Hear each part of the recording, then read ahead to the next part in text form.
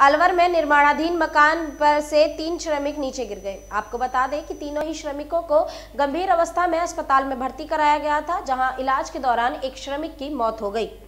आपको बताएँ कि पूरा मामला पहाड़ी थाना अंतर्गत ग्राम पहाड़ी के गुजर मोहल्ले में एक मकान में निर्माण कार्य के दौरान दूसरी मंजिल पर लगे पेड़े पर चढ़कर काम कर रहे तीन श्रमिक पेड़ा टूटने से नीचे ज़मीन पर आकर गिर गए, जिससे तीनों ही गंभीर रूप से घायल हो गए, जिनको अलवर के एक निजी अस्पताल में इलाज के लिए भर्ती कराया गया, जहाँ इलाज के दौरान एक की मौत हो गई और दोनों घायलों का इलाज अस्पताल में अभी भी चल रहा है।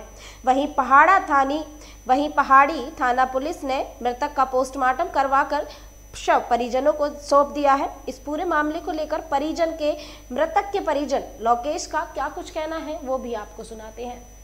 क्या नाम पता है? इनका कहाँ के रहने वाले हैं? वो पहाड़ी गाँव के रहने वाले हैं। भगवान सिंह उसका नाम था। दो मंजिल का पेड़ा था वो टूट गया था तो वहाँ से गिर गए थे वो। क्या काम करते हैं? मिस्तरात बना करते हैं। अच्छा, तो काम कर रहे थे? हाँ जी। फिर कहाँ भर्ती कराया था ये सोलंकी कराया था अलवर अच्छा, फिर उसके बाद? उसके बाद ये खबर आ गई थी तीन जने गिरे थे तीन जने गिरे थे वो एक सीरियस है एक ठीक ठाक है और एक की डेथ हो गई है।